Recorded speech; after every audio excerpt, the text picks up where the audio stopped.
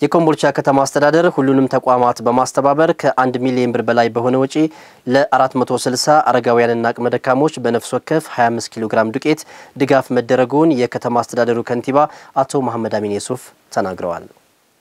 ከተማችን ላይ በኢኮኖሚ ገቢያቸው እና እድሜያቸው ደግሞ ትልልቅ የሆኑ አረጋውያኖች በርካታ አሉን።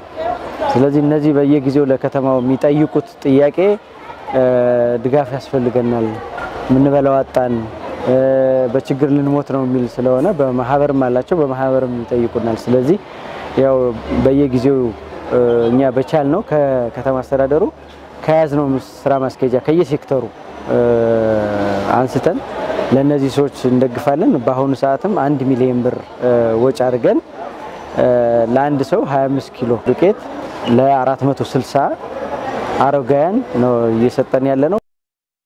ድጋፍ የተደረገላቸው የህብረተሰብ ክፍሎች በበኩላቸው ከተማ አስተዳደሩ ከዚህ ቀደም ተመሳሳይ ድጋፍ ማድረጉን ገልጸው የኑሮ ውድነቱ ጫና ከፍተኛ በሆነበት ወቅት የተደረገላቸው ድጋፍ ለኑሯቸው አጋዥ እንደሚሆናቸው ገልጸዋል።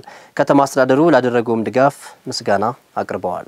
በዚህ በክረምት ላይ ምንም አይነት በአሁኑ ሰዓት በማናውቀው ነገር ዋጋ በናረበት ሰዓት ላይ ደርሶልናል።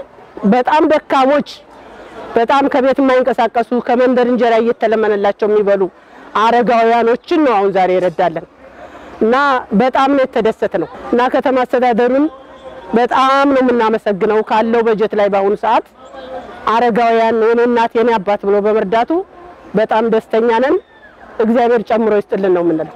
አንድ ሳህን እህል 230 240 እየተሸጠ ባለበት ወቅት ይህን እርዳታ እስካሁንም አይተንም ሰምተንም አናቅም። የኑሮ ውድነትም በጣም ተወጥሯን ህዝቡን መንግስታችን በጣም ነው የምናመሰግነው። ክረምት ነው። ልጆች ያላቸውም ዳቦ ጋግረው ለልጆቻቸው ይሰጣሉ። ስለዚህ ድጋፉ ጥሩ ነው። ወደፊት ግን መቀጠል አለበት። እንደገና ደግሞ አረጋውያን ሲባል አሁን ውስን አረጋውያንና ውስን አካል ጉዳተኛ ሊሆን ይችላል የተሰጠው። ወደፊት ግን ሁሉንም ባካተተ መልኩ ከተማ አስተዳደሩ በዚህ ይቀጥል ይበርታ ነው የምንለው። ከተማ አስተዳደሩ ብቻ ሳይሆን ባለሀብቶችም እንደ ዜጋ እንደ ሀገር እዚህ ሀገር ላይ ባለሀብቶቹ ነው ለእነዚህ ዜጎች ዝም የሚያሰይ ቀን አይደለም። ምክንያቱም ከኑሮ ውድነቱ አንጻር ሲታይ በልቶ የማያድርም አለ። የኮምቦልቻ ከተማ አስተዳደር ከንቲባ የከተማ መሰረተ ልማት ግንባታን ከማካሄድ ጎን ለጎን ሰው ተኮር ለሆኑ ተግባራት ልዩ ትኩረት መሰጠቱን ገልጸው በቀጣይም ድጋፉ ተጠናክሮ እንደሚቀጥል ተናግረዋል። ባለሀብቱም በመደጋገፍ መንግስትም እነዚህን ዝቅተኛ ማህበረሰብ ካልደገፍናቸው አሁን ካለው ኑሮ ውድነት አንጻር በረሃብ ችግር ውስጥ ሊገቡብን ይችላሉ እና ይሄንን ታሳቢ በማድረግ እነሱ እኛ መንግስት ከጎናቸው ለመሆኑ ለማረጋገጥ ያደረግነው ነው። ድጋፉ ወደ በቀጣይም እንቀጥላለን። መረጃውን ያደረሰን የኮምቦልቻ ከተማ አስተዳደር የመንግስት ኮሚኒኬሽን ነው።